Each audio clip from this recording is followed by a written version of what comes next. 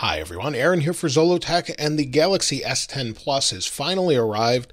This comes in at $999 for the version that I picked up. It's the 128 gigabyte version in Prism White. So let's go ahead and open it up here and see what we've got.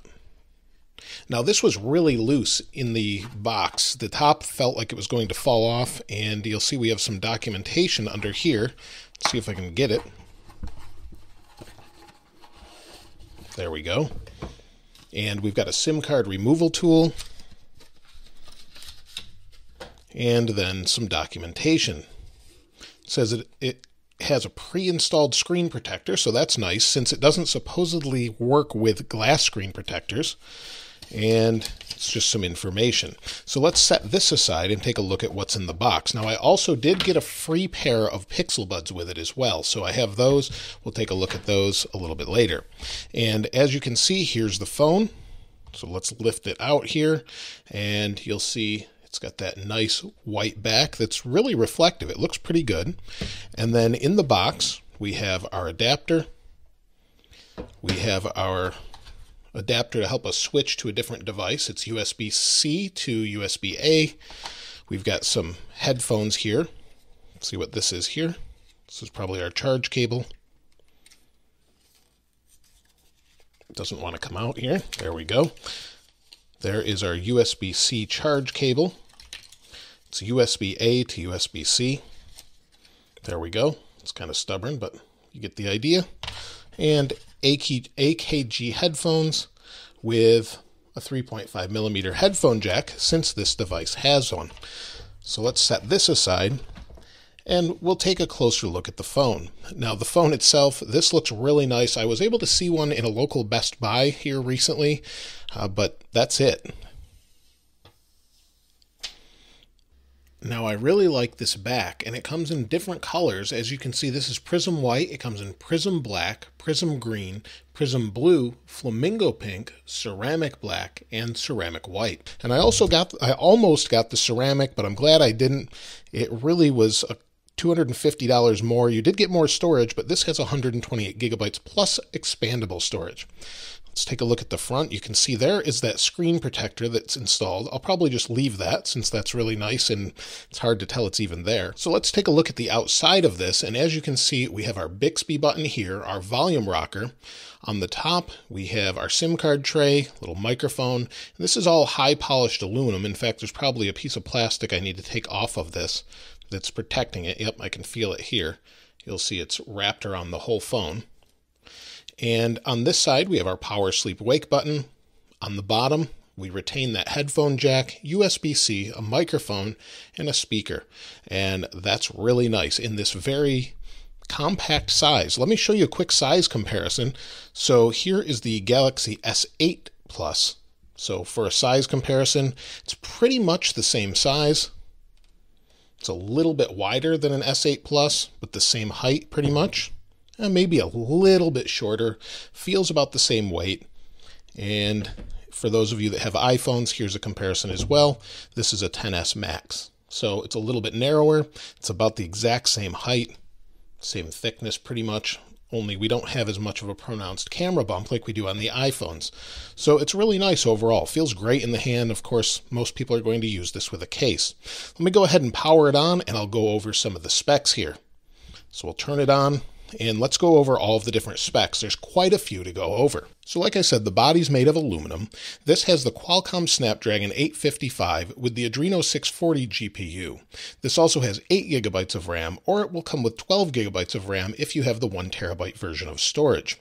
It also has Wi-Fi 6, which is the latest. Now the display is covered with Gorilla Glass 6. That's also true of the back as well. It's a dynamic AMOLED display that's 1440 by 3040 pixels. It's 522 pixels per inch, and it's an HDR 10 plus display display and it has that under the screen fingerprint sensor. Now on the front, there's two cameras. One is 10 megapixel with an f1.9 aperture. The other one is an 8 megapixel camera with an f2.2 aperture. That also records in 4K, so you can record in 4K from the front. On the back, we have three cameras. The first one is a 12 megapixel f1.5 to 2.4 variable aperture camera that's a wide camera. Then we also have a 12 megapixel telephoto lens with an f2.4 aperture and an ultra wide 16 megapixel f2.2 lens as well. Now, the back cameras record in 4K HDR for video. This runs Android 9 Pie. It has the One UI or the Samsung experience on it. And it also has a 4100 milliamp hour battery that supports fast wireless charging, and you can reverse charge things like the Galaxy Buds. You can also order a 5G version, which is coming later to Verizon. Now, before we go ahead and set this up, let's take a look at the SIM card slot. It does have expandable storage up to 512 gigabytes of micro SD storage you can see here. This is plastic and it's also got your SIM card tray. So it feels a little flimsy, but it doesn't move, so that's not that big of a deal. I'll put a SIM card in there a little bit later. So let's go ahead and set this up. So let me set it down here and we'll hit start. Let's look at the terms and conditions. We have to agree to the terms. We can really get going. So I can restore settings from, say, an iPhone or something else. So I'll do that. We'll hit next. And update smart switch. A network connection is needed to check that. Okay, we'll update it. So now it wants me to connect to my iPhone using a cable. So I can do this later or do it now. And let's go ahead and connect it. And you'll see here's my iPhone. I'm going to connect this to this. Now you have to trust it as though it's a computer. Put in your device passcode, and we'll hit next and it's searching my iPhone XS Max for data to bring over. And mostly I just want to bring over some of the basic information, such as my text messages and things like that, and it should show up on this device as well. So I'll let this run, it will take a little while, and we'll come back once it's done. Now, in order to copy my iPhone data to the S10 Plus, it told me to charge the S10 Plus to 80%, so I'll have to come back and do that although it could have been talking about the iPhone also. But let's go ahead and set up the fingerprint sensor. So we'll hit fingerprints, we'll hit continue, and I'll set up a pin. Now it's telling me to put my thumb down.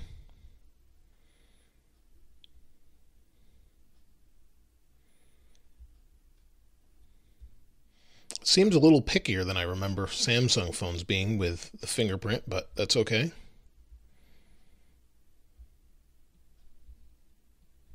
There we go. I'll add my other fingerprint. Now we'll finish this up here and wait for it to complete. This is the default home screen of the S10 Plus. Now I may change some of this as I tend to use Google apps, but let's see what apps we've got on here or applications. Not very many. Since I got this from Samsung, it shouldn't have a whole lot of extra things on here. It's installing some of the things I use normally, and I'm just waiting for that to complete. Now, if we slide over here, we've got Bixby, of course. I'll be reassigning that most likely when there's a software update, which is pushed out to this already to quite a few devices. So hopefully I'll have that. And let's take a look at the settings. So in settings, everything is down here now. We have that one UI experience where everything's down here. You can use one hand to reach it. And we've got quite a few different settings. Overall, it looks pretty nice. Let's see if we have a software update says checking for update. Let's see what we've got. Now it actually says I have the February 1st update. So hopefully I'll, it'll find one a little bit later. I'll check this again. But let's go back and you can see settings looks pretty good. I'll be tweaking this over the next couple of days. And so far it feels very fast. Everything's nice and fluid so far. I don't have anything to the right it looks like. And then if we go into the camera, it looks pretty good. We have AR emoji, emoji, Bixby Vision, of course, video, and this is what interests me the most actually is it's supposed to have HDR video. So rear video size, resolution, full one to one. It also records in 2288 by 1080. We'll go into advanced video recording and you'll see it has a high efficiency video and HDR 10 video, which is what I'm very interested in. I want to try that out and see what it looks like. So rear video size, it's in 1080. Let's change that to 60 frames per second, 4K. And now we have 4K and it looks like we can't do HDR in that particular mode. Let's go back to 30 frames per second, see if we can do HDR, and now we can do HDR10. So that should be pretty interesting to see what it's like. I'll be testing that out as well. Now let's take a look at the Galaxy Buds also. Now I know a lot of you are going to comment, I'm just using a Leatherman tool or whatever. If you have any suggestions for a better knife, let me know. I'll pick one up or uh, I'd love to try something else that's a little bit different. So these were included free with the S10 Plus. Let's take these out here see what we've got here. So it looks like we've got some different fittings for our ears. And then in here, we've got another USB A to USB Type C cable. So we'll set that aside and let's open these up and see what happens since this is supposed to be like the AirPods are. So there we go. They showed up. We'll hit connect. We'll allow have to agree to all of these. Galaxy wearable. I'm going to have to change that notification tone. And it says setting up your phone. So it was pretty easy to pair these. So it says, Congrats on your new Galaxy Buds. We'll hit agree. And you can manage notifications and turn them off or on or whatever you'd like. So I'll come back to that a little bit later. And then it says, Use the touchpad. Double tap for next or answer, or triple tap, triple tap to go to the previous track, touch and hold, and you can change this setting. So we'll hit finish, and I'm all set. So these should work now, and supposedly we can charge them on the back of this device also. So let's see how that works. And I don't know if it's charging, but you get the idea. It should charge off the back of here. There we go. Now the light's on. I don't know if you can see that. Let me see if I can hold it still. The light's on, it was charging, and it may take a moment to set up, but it's nice. I can just set these on my desk, charge it, and then I'll be good to go. Now, if there's anything specific you want to see regarding this particular device, uh, it says no match, so that's kind of interesting. There we go. I have to play around with that a little bit more. If there's anything in particular you'd like to see about the Galaxy S10 Plus that you haven't seen elsewhere, I'd love to hear what you have to say just because I'd love to try out some things other people are not. So it keeps saying no match, and I've set up both thumbs. So that's kind of interesting. And I know there's an update for this, so hopefully I'll get that update and it improves quite a few things. And it's already saying problem loading widget. So we'll see what happens. But let me know what you think in the comments below. If you haven't subscribed already, please subscribe and like if you enjoyed the video. If not, the other one's okay too. As always, thanks for watching. This is Aaron. I'll see you next time.